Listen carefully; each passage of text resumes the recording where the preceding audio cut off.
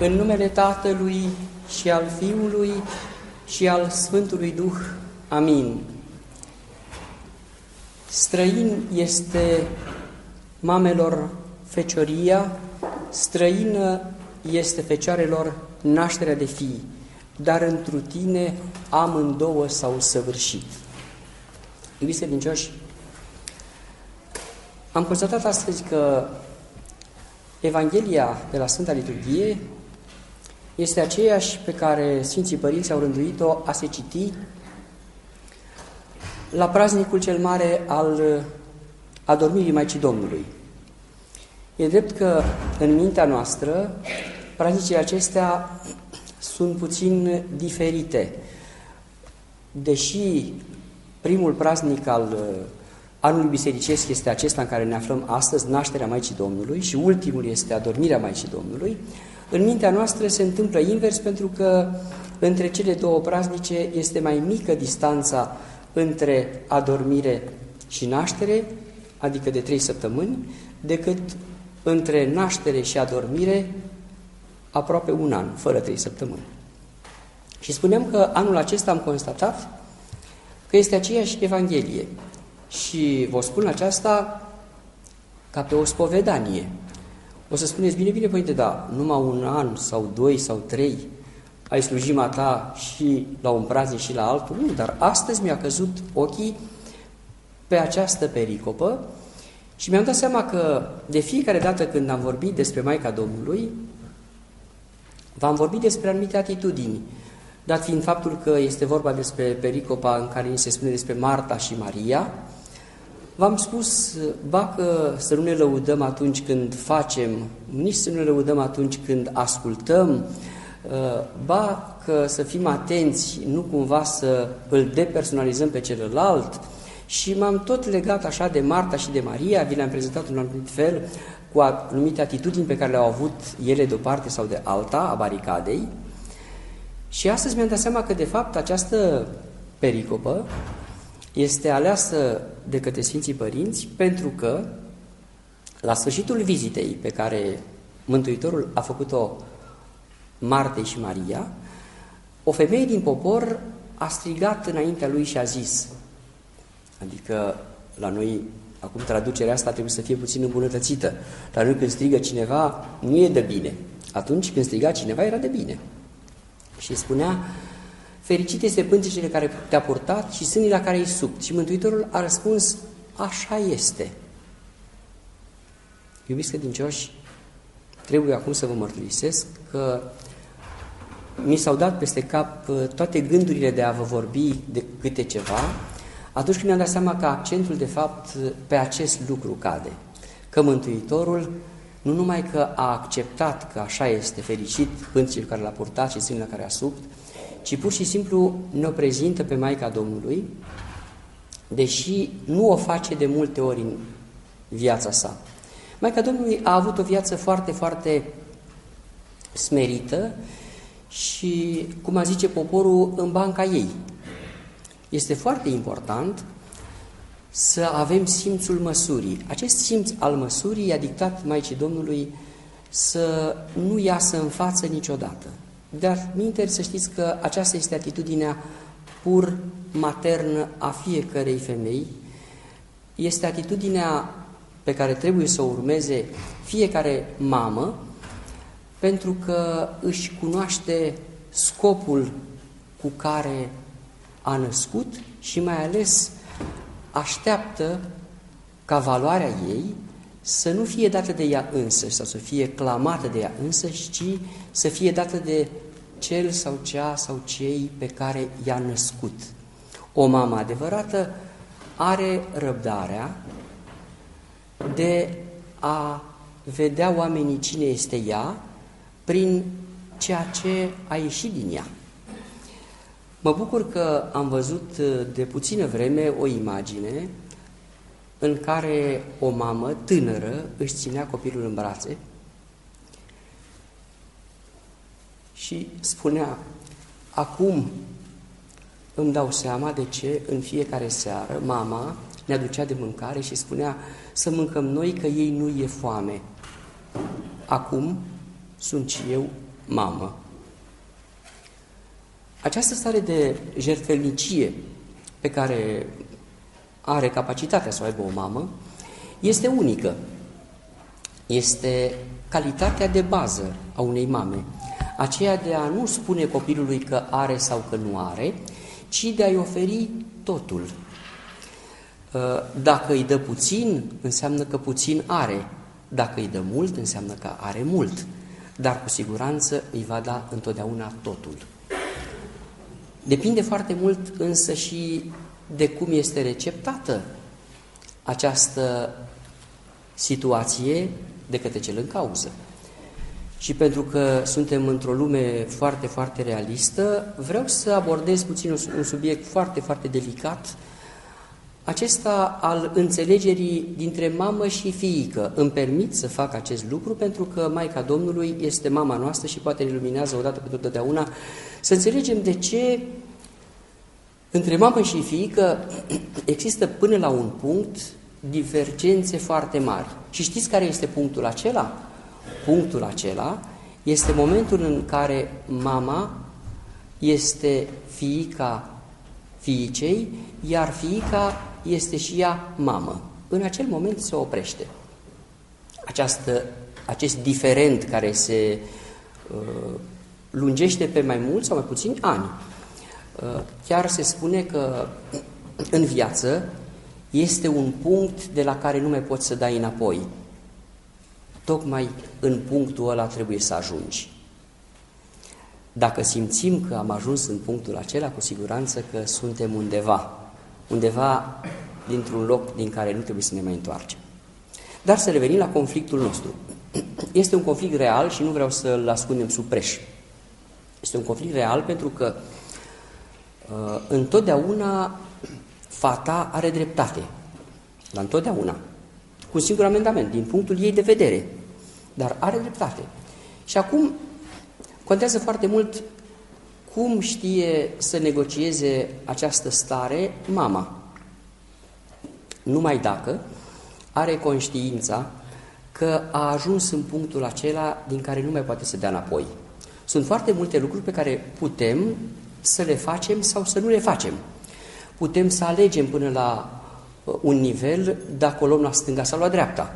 Dar când am intrat pe sensul unic, mai mult de 50 de metri nu mai avem voie să dăm nici cu spatele. Dar când am ajuns la punctul acela despre care v-am vorbit, din care nu se mai poate da înapoi, trebuie să ținem la acel punct. Și punctul acela este momentul în care devenim părinți. Dacă am ajuns în acel punct, trebuie să știm că din acel moment nu mai avem noi niciodată dreptate, nu mai avem noi niciodată nevoie de nimic, nu mai avem noi voie să dormim sau să mâncăm înainte de a rezolva pe copilul acela. Acest lucru a fost făcut de Maica Domnului în mod deosebit și ne-a învățat că se poate. Ne-a învățat că a avea sau nu a avea un conflict între noi și copilul nostru nu ține de copilul nostru, ține de noi. Ține de capacitatea și de aplecarea noastră de a fi realiști. Și v-am spus în primul rând să constatăm și să considerăm și să ne întărim că el are dreptate întotdeauna. Și dacă vom merge pe linia asta, veți spune, păi da, da, educația unde va fi? Păi să știți că există două moduri de a educa. Dacă îți alegi modul acela cel mai comod pentru tine ca părinte, este un, e foarte simplu. Adică privirea întotdeauna tăioasă, tăierea dialogului din fașă, și zici, e principiul acela zis românesc, nu e chiar românesc, dar că eu te-am făcut, eu te omor. Adică nu ai ce discuta cu mine. Eu, eu este o cale. E, calea asta nu putem să o recomandăm și nici măcar nu putem să vorbim prea mult despre ea, dar este o cale. Și v-am spus despre această cale pentru că ea există. Dar mai este și altă cale, aceea a blândeții. Ă, să nu credeți că blândețea ține numai de om. Nu. În momentul în care omul își arată către copil blândețea, Dumnezeu îi luminează mintea copilului ca să poată să priceapă această blândețe, să nu ia ca pe o prostie sau pe o neapărată uh, valoare numai a lui față de părintele lui. Dar dacă blândețea este neapărat sinceră, se întâmplă acest lucru. Pentru că sunt și cazuri în care blândețea este nesinceră. Adică este blândețe, uite așa, tată, ia pasta așa, așa, dar când nu-ți convine ceva la copil, imediat se întoarce foaia. Asta înseamnă o blândețe care nu este sinceră. Blândețe trebuie să fie blândețe până la capăt. Și dacă ne ispitește gândul, aoleo, da, dacă o să o ia pe câmpie, dacă o să îi se pară că îi se cuvin toate, ce mă fac? Păi asta nu mai e treaba ta. În momentul în care ai mers pe linia blândeții, să știi că Dumnezeu merge pe linia ilaltă. Și aranjează El ori un anturaj frumos, ori niște întâmplări de viață care să-l mai aducă la strada principală pe copil. Dar uh, numai cu blândețe putem să colaborăm cu Dumnezeu. Așa, dacă noi vrem să fim și uh, drepți și blânzi în același timp, nu o să fim ca Dumnezeu. Adică să ne, arăt, ne alegem o cale. Eu sunt, Doamne, pe calea asta, Tu vezi, stăpânește căile celelalte. Și să știți că Dumnezeu uh, va pune strajă la marile uh, intersecții, la marile răscruci din viața copiilor noștri, astfel încât drumul să fie numai înainte. Dar dacă noi amestecăm lucrurile și acum îi spunem bietului copil ceva și după aia zicem altceva și îl zăpăcim de felul acesta, cu siguranță că nu mai educăm și nici nu mai avem un dialog. Pentru că trebuie să revenim la dialogul dintre mamă și fiică pe care vreau să-l deslușim puțin în scurtul meu cuvânt de astăzi. De la ce pornesc în general conflictele?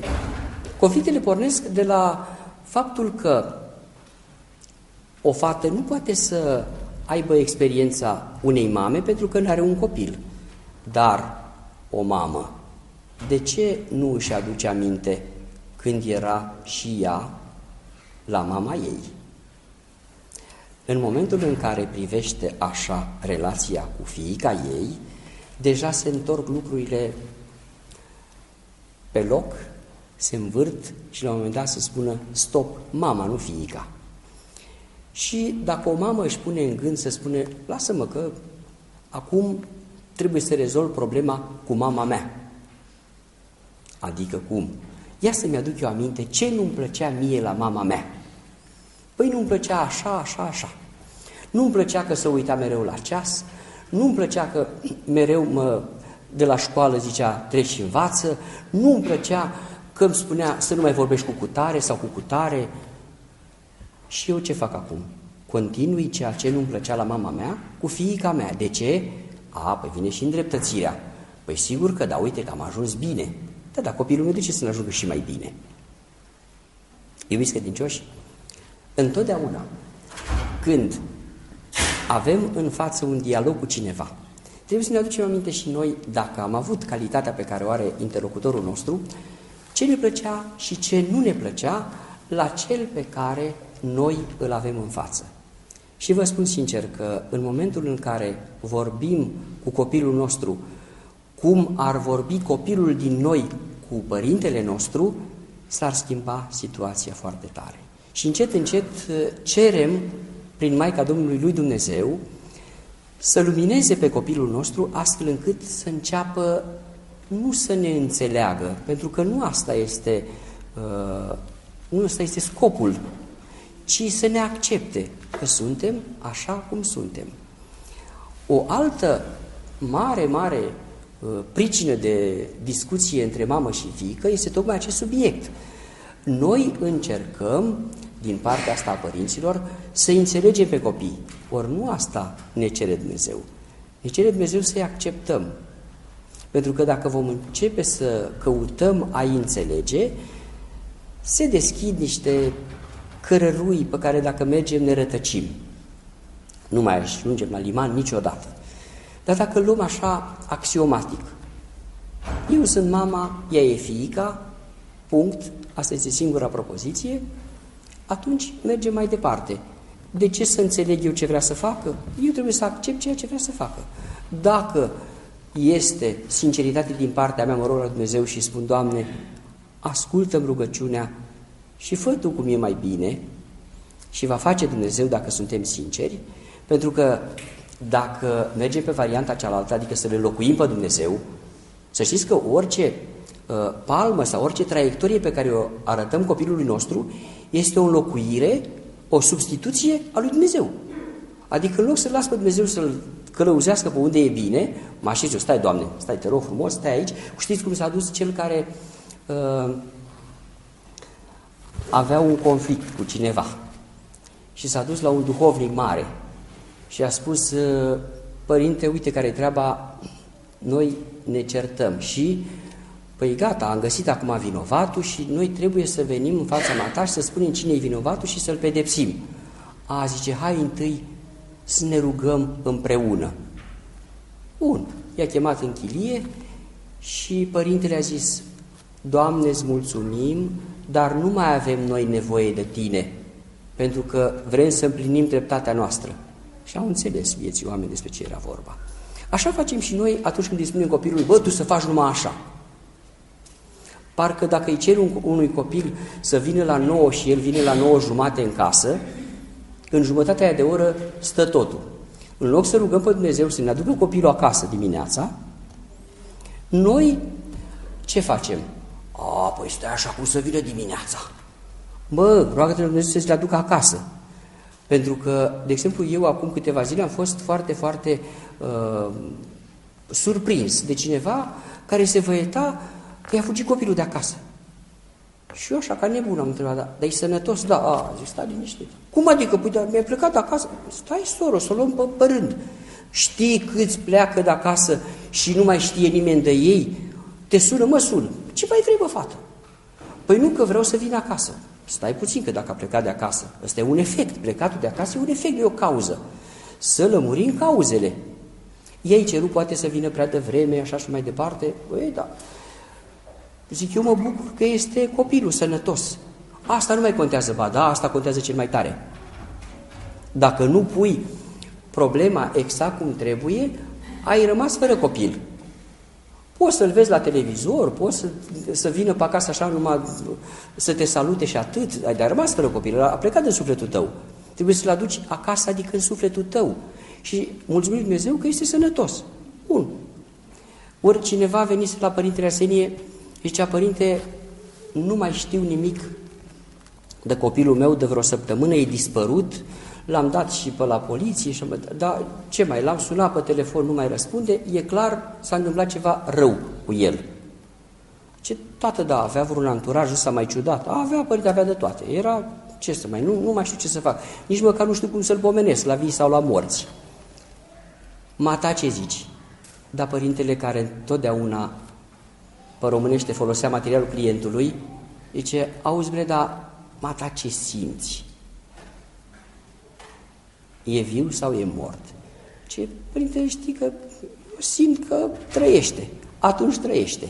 Și n-a mai durat mult până a venit bietul om să-i mulțumească părintelui că, într-adevăr, copilul trăia.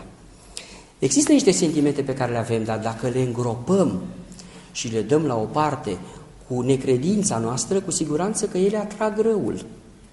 De asta mă bucur tare mult că în praznicul acesta al nașterii Maicii Domnului ne-a luminat Dumnezeu să ne uităm puțin în ograda dialogului dintre noi și copiii noștri. Copiii, dacă nu au dreptate, trebuie să le dăm lor, noi. Dacă ni se pare nouă că nu au dreptate, să știți că ni se pare. Pentru că ei au întotdeauna dreptate. Dar să știți că nu este vorba numai despre copiii noștri așa născuți din noi. E vorba și de copilul din noi. Întotdeauna când eram mici bolboroseam când ne făcea cineva observații, lasă că ajung mare și dacă am ajuns mare ce am făcut? Cum ne purtăm noi în calitatea unui copil care a ajuns mare? Dacă întotdeauna ne vom raporta la copilul acela din noi, vom ști și de ce să ne ferim în viață și ce să accelerăm în viață și ce să frânăm în viață. Pentru că în noi copilul acela încă mai plânge după o anumită jucărie, după o anumită relație, după un anumit anturaj pe care nu i l-am putut da din diverse cauze. Și dacă suntem atenți, am ajuns la vârsta la care putem să răscumpărăm lacrimile copilului din noi. Și atunci o să tragem linie și o să ne dăm seama că, de fapt, dialogul dintre noi și copiii noștri este dialogul din noi cu copilul din noi și cu părintele pe care l-am avut. Și dacă vom ști să ne uităm din când în când măcar la Maica Domnului, vom vedea care este adevărata relație între o mamă și un fiu, între o mamă și neamul omenesc. Pentru că pe Maica Domnului n-am văzut-o tânguindu-se, uh, nu am văzut-o ieșindu-și din fire, n-am văzut-o fugind. Dacă de lângă Mântuitorul, atunci când a fost trădat, au plecat ucenicii, e bine că a mai rămas Sfântul Ioan, evanghelistul, care de-al minte a rămas pentru că era și îndreptățit să rămână, uh, cum se zice acum pe românește, avea rude la Ierusalim, zice în Scriptură, că era rudă cu cei din Sinedriu și atunci avea oarecum o acoperire.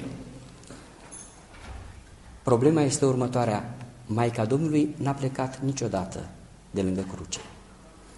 Iar plânsul pe care îl vedem pictat prin icoane este un plâns demn. Nu este o tânguială, aoleu ce mă fac. Este un plâns demn.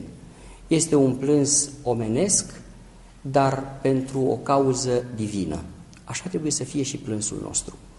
Nu trebuie să ne tânguim încolo și încolo, aoleu, uite ce mi-a făcut copilul. Nu, nu, nu, trebuie să reparăm întâi copilul din noi, pentru că acel copil din noi îl va repara pe copilul plecat din casa noastră. Dacă ne vom împăca cu noi înșine și ne vom lua așa cum suntem, fără să ne înțelegem, fără să încercăm să facem tot felul de, de calcule, cum e bine, cum e rău, dacă ne luăm așa cum suntem, cu siguranță că ne va șopti Duhul să luăm și pe copilul nostru așa cum este. Poate că se întâmplă la o vârstă sau la o încărcătură uh, de tot felul de uh, lucruri pe care vrea să le facă și nu poate. Vă aduceți aminte când erați mai mici? Când aveați 10 ani vroia să aveți 20, când aveați 20 vroia să aveți 25 și după aia când aveați 26 ziceați că vreți să aveți 20. Și ați vrea să rămâneți la 18 ani, să nu fi terminat liceul și așa mai departe. Așa e omul. Când are 70, o, ce bine era pe la 30. Da, da, acum când ești la 30, de ce nu zici, uite ce bine că sunt acum. Iubiți credincioși, trebuie să fim oamenii zilelor noastre. Și dialogul între noi și copiii noștri, între noi și copilul din noi, trebuie să fie unul real. Dialogul acesta trebuie să fie plin de imaginea Maicii Domnului. În ce sens? În sensul în care l-a și mustrat odată pe Mântuitorul, când uh, a plecat fără să spună la templu și ei se duceau spre casă, dar când și-a dat seama că a greșit, că Mântuitorul le-a dat replica, nu în cele ale tatălui meu se cuvenea să fiu, atunci au înțeles. Copilul nostru întotdeauna este acolo unde trebuie, dar mintea noastră vrea să-l așeze în altă parte. Iubiți credincioși, să nu credeți că vă vorbește cineva care nu are habar de copii și vede numai seara. Știu exact ce vă spun. Dar vă mai spun și ultimul secret al vieții mele. Dacă nu aveam lângă mine o soție care să fie diferită de mine, cred că nu ieșea bine. Adică trebuie să ne însoțim cu cine trebuie. Și asta se face numai prin rugăciune către Dumnezeu.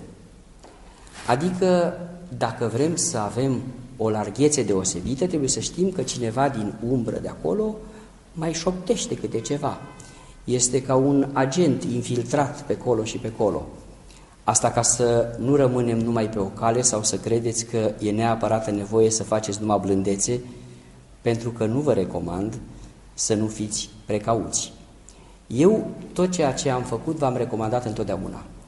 Dar rugăciunea către Maica Domnului vis-a-vis -vis de educație este o realitate. Fără Dumnezeu nu putem să facem nimic pentru că viața nu are numai un aspect, să zici, gata, îl feresc pe copilul meu numai de iarbă sau numai de motociclete. Nu, trebuie să ferești pe copilul tău de multe. Dar poți să faci lucrul acesta? Exact cum a zis Dumnezeu pentru viața de veci. La oameni asta este cu neputință. Numai la Dumnezeu este cu putință. De aceea, în marele praznic al nașterii Domnului, să dăm slavă lui Dumnezeu că ne luminează și că noi încercăm să primim lumina și de acum înainte să fim mai atenți la orice dialog pe care îl avem cu copiii și cu părinții noștri. Pentru că atâta vreme cât întoarcem dialogul nostru cu copilul nostru față de copilul care era în noi, atunci suntem siguri că suntem pe drumul cel bun. Dar dacă vrem să ocrotim, așa zis, pe copilul nostru, s-ar putea să-l împingem către zonele pentru care el nu este pregătit să se prezinte în momentul acela. Poate că nu îl vrem prea matur sau prea copil, poate îl vrem prea pregătit și este într-o uh, societate care nu are nevoie de el, poate că noi vrem într-un fel și el este pregătit pentru altceva. Rugăm pe Maica Domnului să ne trimită harul maternității, să ne trimită Duhul cel bun în a lua decizii corecte în dialogul care nu va înceta niciodată cu copilul nostru sau cu copilul din noi înșine, pentru că acest dialog continuă atâta vreme cât avem o preocupare. Așa să ne ajute Bunul Dumnezeu.